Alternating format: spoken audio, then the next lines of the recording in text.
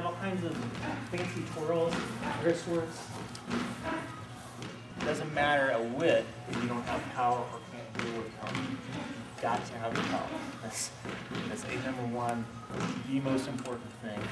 Pick up a club, pick up a stick, pick up a cane. To use it as a bludgeoning weapon, you have to have power. Tapping somebody is not gonna help you very much.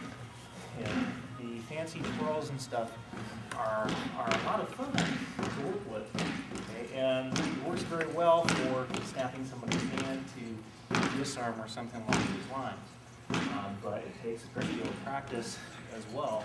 And, you know, your, your standard, uh, six foot six back alley type of, of, of mother can pick up a crowbar and smack you with one of these all this stuff doesn't necessarily help, right? So you have to have understanding of power and then how to deal with the power as well. So we'll do some work with some blocks here, I think, in a little bit, how to diffuse some information. But again, back to this, that's number one. Number two,